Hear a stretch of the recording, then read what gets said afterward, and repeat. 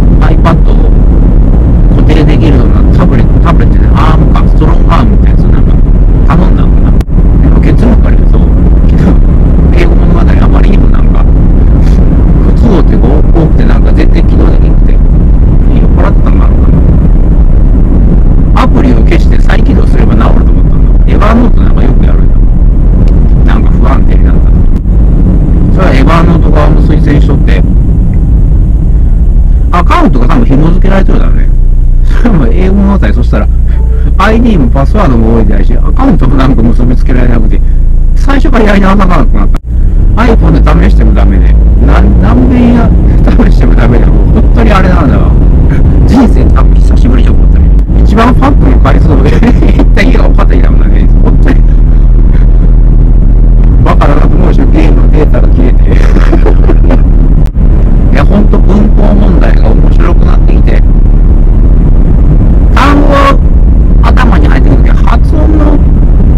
Aí eu de crime, tá?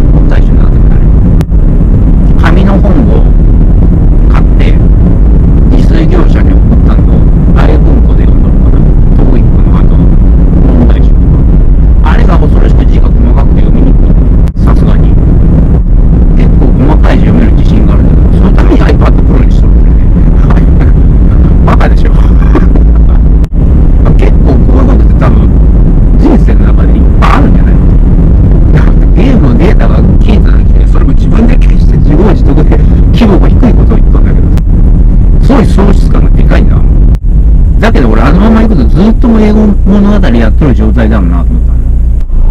いや、夢中でハマれるからいいんだけどさ、1日にこなせる問題数が多くないんだ。2000問、3000問あればまああれかな。まあ、単語だけじゃなく文法問題も入れると。そう、要はカードバトルのアクションがあるから、削れるだけ削ってカットしても問題数が少ないんかな。だって1個のステージのなんだろう。まあ、俗に言うレアカードみたいなやつを取るために、3分の1、30%ぐらいの確率にして、5分弱ぐらいかかるんかな。2分半ぐらいかかるかな。10問、その、ここら辺は言っても多分わからんカードが、要は自分の色が出るか出んかで、それを取るための問題数がかかると。こなせる問題数が強烈に少ない。イングリッシュモンスターっていうアプリだと、こなせる問題数は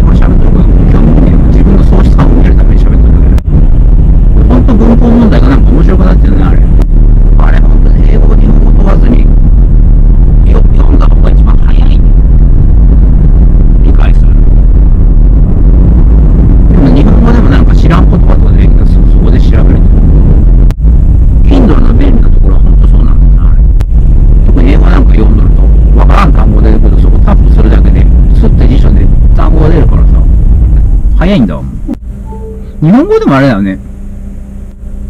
言葉だから知っとっても意味がわからん言葉か調べていくと面白いよね。ウィキ、ウィキ、なんかもう、ダメダメだね。ウィキペディアか。あれなんかで調べていくと面白いよね。なんでいろんな言葉で調べるとなんかウィキペディアが上位に出てくるかっていうと、網羅性が高いからね。政治から、お笑いから、料理から何から何まで網羅しとるけどね。ページ数がすごいから。なかなかあれだな、言語学習をゲーム入れて楽しいけど、こなせる問題量が少なくなるっていうのがデメリットだよな。で単語帳ばっかり読んどって異様に面白くない。単調すぎるっていうの。こなせる量が恐ろしく多いけどね。単語だけ読んどってやっぱりないの。英語の単語も結局そうだもんな。日本語と一緒で、門構え、国構えとかああいう派生する言葉を覚えてかんとどっかで詰まるのか。いや、俺詰まったもんねさ。そう、3800ぐらいとかな。2000ぐらいとかな。要は文字を見たときになんかイメージできんっていうかな。this なんとかだったら DIS ね。あ分離されるとかなんかそういうセット味がさ、そこはイメージできんとさ、でもこれはもう結局あれなんだよ。繰り返しとか勝手に頭入ってくる。だからまあ、人生で不条理な喪失感を味わったときは前向きに考えましょうと。論理的に自分をごまかすっていうか、そういうのが受け止められるようになると、怒らなくなるんだろうね。許容量が増えるっていうのかな。怒らなくなって、ほっと怒ってたもんね。南米ファックって言ったから、昨日の夜も。スマホに当たってもひどい大人だよな、ほんと。大人なのか子供なのかわからんな。やっとること。寝れんかったもんね、さすがに。さあ、データ的にあれだよな。何百時間ってやった分だろうな。そう復元できんし。もうなんかそうそういうことがなくなって収集要素もなんかあってきて、いらんカード取ってもしょうがないし。問題数もなんか慣れてくるしっていう。まあ、いい機会だったから。って言い返しとんだから。最後のうちがもう、アマゾンで頼んだスマホを固定する、なんかフレキシブルアームかな。iPad ぐらいの重さでもなんか固定してガッチリできるやつを注文したんだけど、もう英語は物語のアプリケーションで、いらんでキャンセルしようかなと思ったら、もう発送したらキャンセルできるわけなくて。何をしとんだよ、もう。バカな、バカな大人でね。あ、でもこんな人でも、普通に生きていけるんで、人生は楽勝ですということで。自分で消しとるからもう言い訳のしようがないよね。完全に。まあ、そんなこんなんで人生は何とでも回っていきます。今日はもうダメだよ、俺。喪失感バリバリだね。もう文法問題読みまくって、ツイッターでトランプ大統領を読んどった方がよっぽど勉強になる。以上、喪失感を埋めるためには前向きに考えましょう。って自分に聞かせます